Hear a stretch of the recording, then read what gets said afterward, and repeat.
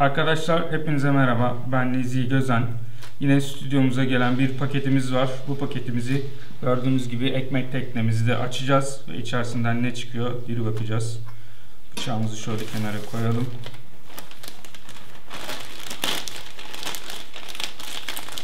Yine bir kargo poşeti yıkma operasyonu. Ekmek teknemize koyduk. Ee, şu an karşınızda Lessie'nin Rugged dediğimiz özel e, harici hard diski var. E, özel bir ürün bu.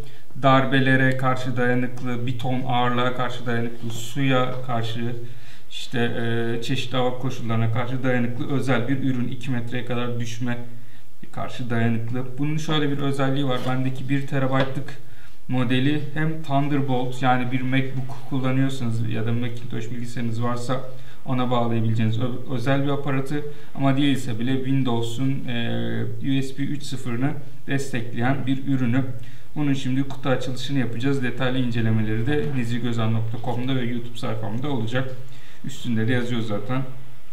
E, USB 3.0 ve Thunderbolt diye 1 TB'lık saniyede 100 MB böyle e, 100 MB'da veri aktarma hızı var.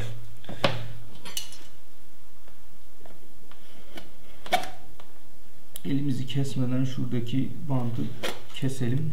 Evet. Bakalım kutusunun içerisinde neler var.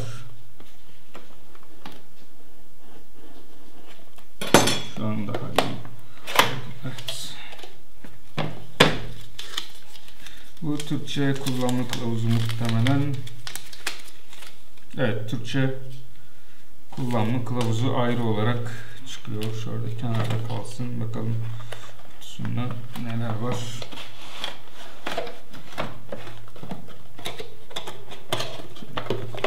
İçerisinde şey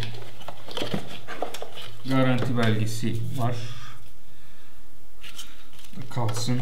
Kutuda bir şey kalmadı. Ürünün gördüğünüz gibi kendisi hızlı başlangıç kılavuzu şurada da USB 3.0'ı destekleyen kablosu var. Gördüğünüz gibi gayet şık, güzel bir tasarımı var. Etrafı turuncu böyle bumperla destekleniyor. Şu yedek mesela şunun üstündeki kısmı eğer e, kaybederseniz çıkabilen bir şey şöyle. Yedeği mevcut. Bu e, Thunderbolt girişi bir Mac bilgisayar ya da Macintosh bilgisayar kullanıyorsanız onun için kullanacağınız e, özellikleri kısmında anlatacağım ama daha hızlı işlem yapmanızı sağlıyor. Ama isterseniz de dediğim gibi şurada USB 3.0 desteği var. Yanlış yere takıyoruz. Şöyle evet.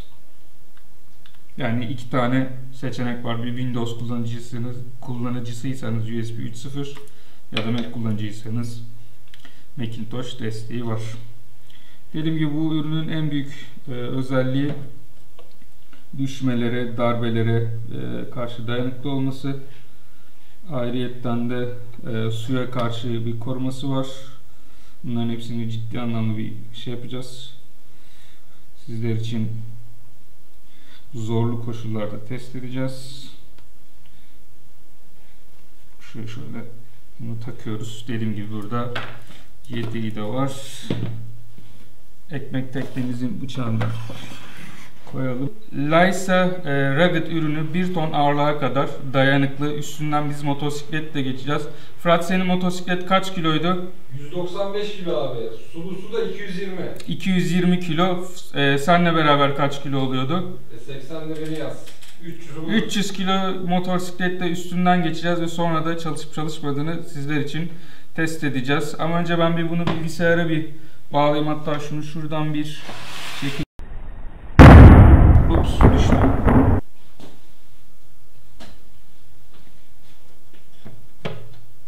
Hadi gelin şu an yere düşürdüğümüz Lassie Rugged'ın bilgisayarımızda çalışıp çalışmadığına bakalım. Önce bir Thunderbolt girişiyle deniyorum. Şu an taktım.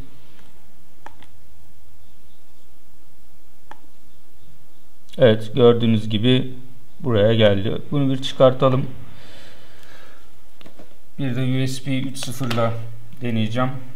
Kurulumu ve testleriyle alakalı zaten çalışmalar yapacağım. O yüzden şu an açıp kapama yapmıyorum. Düşürdüm ve hala çalışıyor mu çalışmıyor mu onu denemek istiyorum. Bir de USB 3.0'ı taktığım zaman bilgisayarım bunu görürse sıkıntı olmayacak. Evet gördüğünüz gibi hem USB 3.0'da hem de Thunderbolt girişiyle yere düşürmeme rağmen e, Lassie Rugged e, şu an çalışıyor. Kurulumu, e, performansı ve üstünden motor testleriyle değil mi Fırat? Motorla üstünden geçeceğiz 300 kiloluk. Tabii ki. 300 kiloluk motorla üstünden geçme testleri için takipte kalın.